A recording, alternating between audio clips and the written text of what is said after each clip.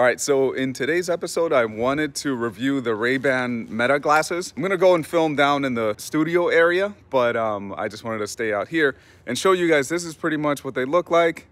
These are the polarized matte frame. Uh, I know that they make the glossy ones, which honestly I prefer. My regular Ray-Bans are glossy, but um, they don't make the glossy and polarized ones. So I ended up having to settle for the um, for these. Anyway, I wanted to do this review. I'm gonna show you guys some examples. I'm gonna show you guys or share with you guys what I think about them, my opinion on them, and uh, yeah. So go ahead and check it out. We'll uh, we'll get into it shortly. Say hi, Tiny. Where's Tank? I don't know. I think he went inside. Hey guys, welcome back to the channel. As I mentioned outside today, what we're gonna be doing is we're gonna be reviewing the Meta Ray-Ban glasses. I don't know if it's that's how you pronounce it or if it's the other way around. Either way, these are it, and let's go ahead and get into it. First of all, I want to get into the reason that, well, the reason I got them is because Sergio uh, bought them for me, so thank you, Sergio.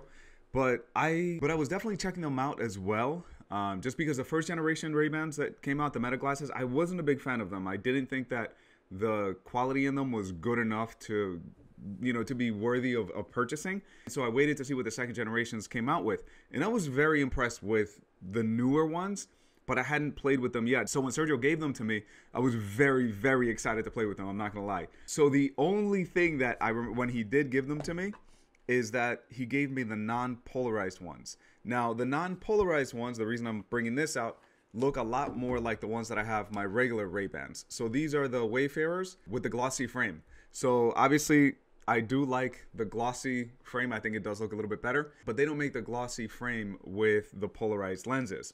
So I did end up having to settle uh, for the matte ones. Um, which is it's not bad. I mean, I don't mind it to be quite honest. It still looks really nice. It's just different than what I'm used to. So I got the matte polarized Wayfarer ones. And I know they also have the rounder ones, which are called the Headliner. I'm not a huge fan of those. I think that these look more stylish, so I ended up going with these instead. And I think the reason that they appeal to me is because they are, you know, nice, stylish sunglasses. They look pretty much the same as the ones that I normally wear, but they come with so much more. And let's go ahead and get into that. The very first thing, obviously, this is a photography channel, so the very first thing that we're going to talk about is the photo and video aspect of it. And on the photo side, you get 12 megapixels, which is to me plenty. I don't think you really need too much more than that. You get pretty decent dynamic range, as you see in some of these photos. It's nothing that I would complain about. I think for for what they are, they definitely are really really good. Are newer iPhone photos better? Yeah, probably. I would imagine so but you're talking about something that fits into sunglasses that you have with you all the time. So this is not, by the way, guys, I'm going to say a lot of very positive things about these glasses, and this is not a paid uh, sponsorship or anything like that. Like I said, they were a gift, and they were also something that I probably would have picked up myself anyway. So take that into account. I'm not just talking good about them because I was given them. I'm talking good because I really do like everything about them. But that being said, I do think that the photo quality from an iPhone 15, 14, 13 is probably going to be better. Even probably the 12. I have the 12 over here. But this is not something that I always have readily available to take photos or anything like that. Or, I mean, there's been some things that I've seen that have, that were funny to me, and I'll just quickly take a photo of them where you know with your phone you're gonna have to get it out put it into you know camera mode. I know it sounds silly but it's just so much easier just going like that and keep keep it moving. And the video honestly the video is what i was most impressed with. The photos are nice but the video quality as you're seeing right now we were shooting a proposal and the dynamic range was really nice the colors were really nice. Everything about it i was very thoroughly impressed because when i think of an iphone video or i think of something that's not a mirrorless or professional camera, you don't really think that it's going to give you that good quality. And for what it was, I mean, it was really, really good. So as far as how wide it is, I think it's about 24 millimeters, something like that. It's a pretty wide lens.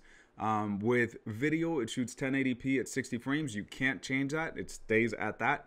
Um, and the longest clip that you can film is 60 seconds which to me i wish it would film a little bit longer but i get it. Maybe for transfer times or um, there was somebody that said that maybe it could create heat if you're recording for too long. I guess i could see that but hopefully there's a firmware update or something like that down the line that lets you record a little bit longer. Just because 60 seconds i feel like it's a little short. It doesn't seem like it but when you're recording then you hear the little sound again that it just shut off it's you know i'm like damn like i wish i could keep going a little bit longer. It only shoots in vertical mode which yes it's kind of annoying but at the same time these glasses were made by a social media company meta. So they want you to be posting on social media. Social media equals phones generally speaking. So they did something that makes sense for their market. So i i get it. Even though i don't like it i do understand why they did it again, I'm sure they could have done it where you, you know you could shoot vertical or horizontal, but they chose to go with just vertical. I would imagine for those purposes. Now, one thing when it goes, uh, you know, that I want to talk about when it comes to video is that the light is always going to be blinking when it's recording. So I'm going to go ahead and show you guys an example of that. Um, so right there, it takes a second for them to turn on. So even like when I turn them on, it's gonna sometimes there's a little delay, which is whatever. It's a little annoying, but it's not that bad. And then when I hold it, you see it right there. Now it's blinking, which is telling you that it's recording. I guess it's an it's an anti-creep mode, so you can't be recording and people not know. But uh, which I you know it's a good thing. So one thing I learned while I while I was doing a little bit of research is that if you cover it, it won't start recording. But if you are recording and then you cover it, it will continue recording because it's going to be recording out of the left side. The right side is just the the light that lets you know that it's recording. The left side is actually where the camera is that records. I mean, I guess it would be a little weird like, hey, walking up to someone to say, "Hey, what's going on? How you know what I'm saying? Like obviously it, it it's a dead giveaway that that you're covering something. Yeah, so don't be recording people and not letting them know. I think that's illegal anyway. Going off of that with the little light and um, recording or taking photos or anything like that. When you do take a photo, one thing that I did notice is that you'll click it and then it'll give you a sound like a little beep and then another click that sounds like a shutter. The photo isn't taken until that second click goes. And there's always a little bit of a delay. So you're to hear a little beep and then click and then it takes it. Um, when I first got them, I thought it was automatic. So I just went click and went like that. And then the photo was just, you know, a blur. It was just kind of, you know, whatever whatever was in between what I actually wanted to take and me walking away. So you do have to remember click, hold it, and then when you hear that shutter, then you know that the photo was taken. So a little something to get used to. Uh, it's not the end of the world, but you know that's uh, that's what that is. Video is a little quicker. I press it and I hold it, and as soon as I hear click, it's pretty much recording right then and there. So I do like the video. I will say I do like video better than photo. I've been using these a lot more for videos than photo. And as far as video goes, also if you live stream, which I haven't done because I, I never do. I don't know. That's not really my forte. Uh, that there is no limit. So you can live stream and that will keep going indefinitely. I haven't played with that because I also find it a little strange. If I'm live streaming I would have to look at my phone to see what people are saying to respond to them also. And then I'm just kind of looking at, I don't know. It just, it seems a little strange, but I, I haven't done it yet. But if you guys enjoy live streaming or anything like that, um, it will go unlimited. And as far as I know, the way that you do it is you'll open up Instagram. Instagram's what I'm going to go by. And then when you go to post a story, it's going to show you the little meta live or something like that. You know what? I'm going to test that out right now. Let's go. I'm not actually going to go live though, because I'm not, that's not my thing. But let's see. Instagram and now I heard it connecting. I mean, it, it kind of gave me a little bleep. You go to live. Oh, and there it is. So when you go to live, and I'll take a screenshot so you guys can see this, it says use smart glasses. So I can use the smart glasses to go live right there. Yeah, so that's how that works. Now I know. I won't be doing it, but now I know. That pretty much covers all the photo and video aspect of it as far as I can think of. Um, dynamic range is pretty good when it comes to photo. I think it's even better when it comes to video. For some reason, it just, to me, it just looks more rich and looks more uh, like there is a wider range. It's probably the same. It's probably just in my head, but it, I do like the video aspect a little bit more. Again, there's a little bit of a delay when you click the photo, um, so just make sure you, you hold still and remember that the camera's coming from the left side. So it is a little bit to the side, but um, yeah, overall, I mean, really, really impressed. I think that they did a really great job. Uh, I can't wait to see what the third generation is going to do. I think that it's, I would imagine it's going to add a little screen or something like that, like Google Glass, if you guys remember that back in like 2012 um, which would be interesting to really, really pull us away from reality. but um, but speaking of that, the next thing, the next aspect that I wanted to talk about is something that I, I didn't think I was going to be as excited about as I actually am. And I'm going to talk about it is the speaker function. So these sunglasses also have a little like headphone situation going on back here.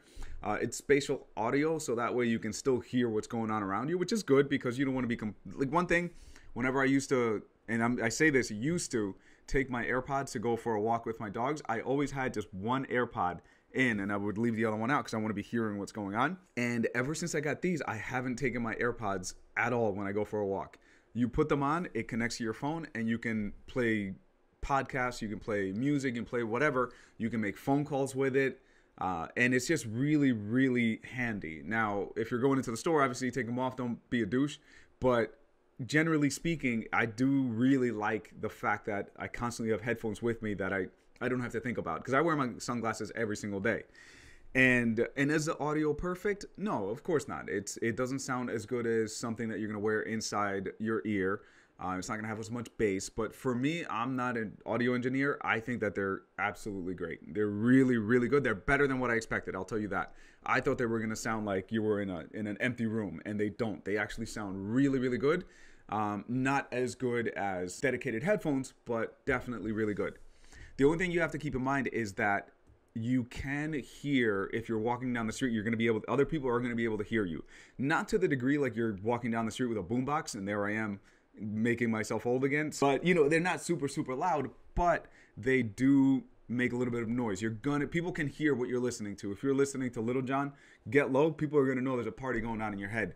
So just keep that in mind you know if i don't think it's that big of a deal like if somebody was wearing these and i was in a in a restaurant waiting for food or something and they had them on and it was playing, I wouldn't care. You know what I mean? Like there's so many other noises that are going on that it, it wouldn't bother me. But just so you guys know, you can hear it even though it is very, very close to your ear. As far as phone calls go, from what I've been told, uh, they're good, not great. So, not to the point. Now, I'll say this, and Scott, you're gonna hate me for saying this, but, but some of this, the I think you had the Beats. Scott, one of my friends had the Beats uh, headphones, and they were atrocious when it came to how much crap you can hear in the background while you're trying to talk to somebody. So I remember every time Scott would call me, I would be like, "Can you can you take those damn things off?" Because I couldn't hear anything.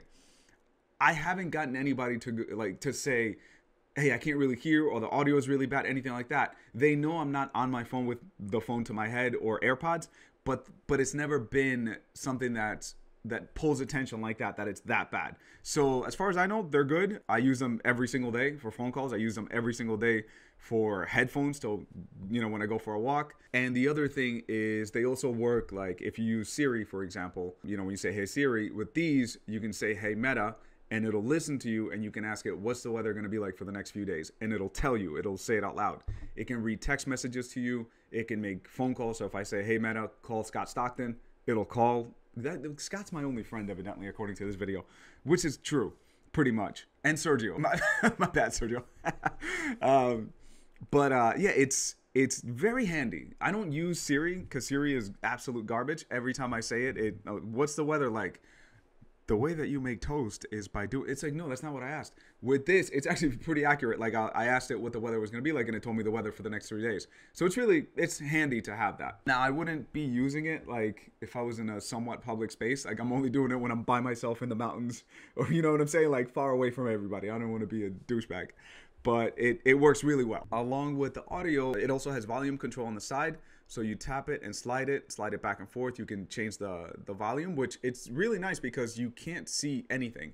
And Dominic, uh, Dominic asked me if you can see the controls or if you can see the workings inside. And I'm looking at it right now, and I'm even going to try to look at it through to the light. You can't see anything, which is really, really like, you know, kudos to them to be able to hide all that because I don't see any of it, but I know that I'm turning the volume up and turning it down right over here.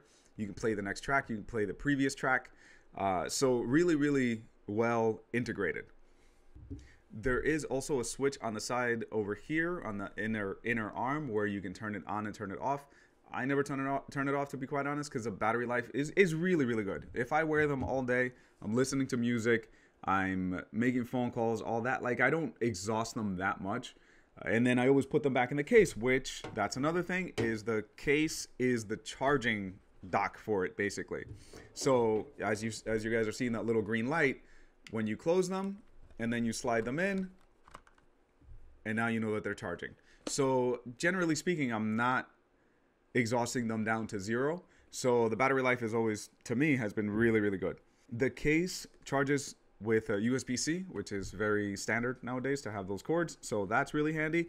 And the case, to be quite honest, is not that much bigger than the regular Ray-Ban case because this is the the one with my regular glasses. It here's another. I haven't used these glasses since I got these because I mean it's basically the same thing with a ton more options. So yeah, that you know just wanted to throw that in. But as far as the case sizes, they're pretty much the same thing. Um, these are obviously a little stiffer. You can feel it. This is a little softer, but as far as size, I mean it's negligible as far as the size difference. The very last thing that I'm gonna mention is I forgot who asked me, and they asked about how tight or how well they hold onto your head because obviously if you're doing any sort of sports or riding a skateboard or something like that. I'm not doing that. I'm 38. I'm not trying to break any bones.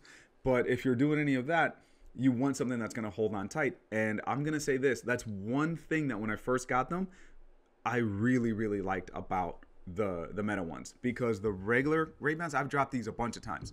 Just kind of like leaning forward, they'll fall down. And I tighten them all the time, but they would fall forward. I think they might have made these a little bit tighter because they're a little bit heavier. Not significantly. They're really very negligible as far as weight, but they are a little bit heavier just because of the inner workings, you know, how much tech they put in sunglasses. So I think they made them tighter so they don't fall forward.